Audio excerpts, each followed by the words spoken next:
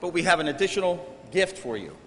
We have a person who has traveled over 3,000 miles on this rainy day from sunny California to be here with each and one of you to celebrate your graduation at his university. I will now ask the chairman of the board of Arcadia University to step forward. Peg.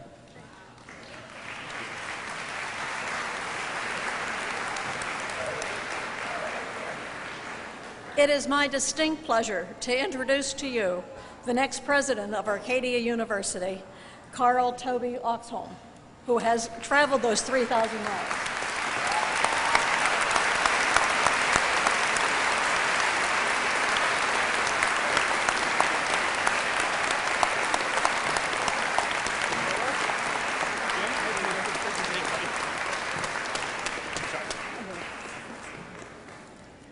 Tobey is Senior Vice President of Drexel University and Dean of its Center for Graduate Studies in Sacramento. He has served as Drexel's Executive Vice President and Secretary to its Board of Trustees and is as a member of the uh, Drexel's Faculty Senate. He has spent the last two years as Drexel's Senior Officer, Campus Founder, Visionary, and Spokesperson for the West Coast. Tobey is, a, is passionate about higher education and liberal, liberal arts, and he will bring his boundless energy and enthusiasm to Arcadia on July 1st. We are most anxious and pleased to welcome Tobey and his wife, Kim, to our family. Thank you.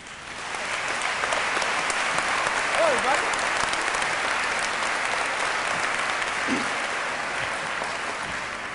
I want to start off by thanking you sincerely for having a long commencement ceremony tonight. I think I circled Philadelphia four times. I saw the Gray Castle only twice, though. It was a wonderful thing to see from the skies. Yeah, it, it is a pleasure to be here, really, in more ways than one, because I did leave Sacramento, California this morning around 4:30. Um, so it's great to get landed. It's wonderful to be here in front of this class of graduates. It's fant- this is my first graduation here. Thank you for having me.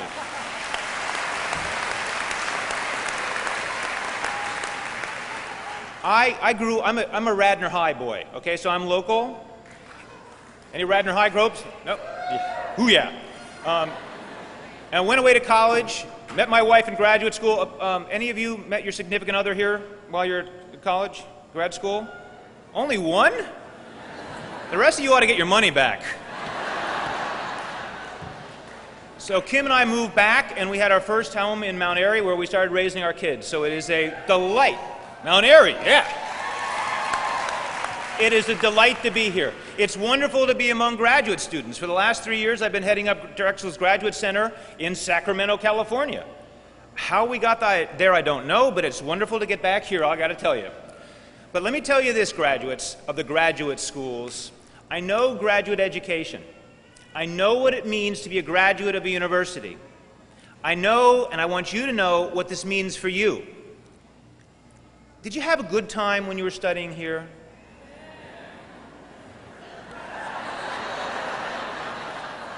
All right, parents, was this a good experience for your sons and daughters or what?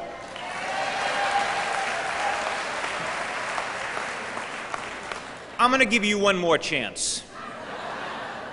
Was this a good experience at Arcadia for you? All right, now we have to talk about the Alumni Fund. you will be leaving this place when you leave the door, right? You're going to have a party and then you're going to get out of here. But you're not leaving Arcadia. This is who you are, and we are who you are. And when you go anywhere in the world where you're going to end up doing whatever you're going to do, as well as you're going to do it, thanks in large measure to the faculty who've been educating you here, you will be Arcadia. And we are proud to call you Arcadia. We want you to come back this time next year to find out where we're going to hold this event when it's really sunny. And we want you to remember that it's your time, your talent, and your treasure that is going to make this into the exceptional universal university in the world in terms of study abroad and bringing the richness of that world to here. This has prepared you enormously well for a world that is far more integrated than when I went to grad school in the 70s. Leave here with the confidence that you can face uncertainty, lack of definition, newness, change, because it's coming at you every day. And these folks here prepared you for it. And as you do well in your careers, remember who made it possible for you to become who you are. Come back and visit. Mentor an Arcadian student. And yes, give to the Alumni Fund to make sure we have enough money to do this for the next generation of bright, inquisitive, challenging minds like you. I'm so proud to be here. Thank you for having me. Good luck to you.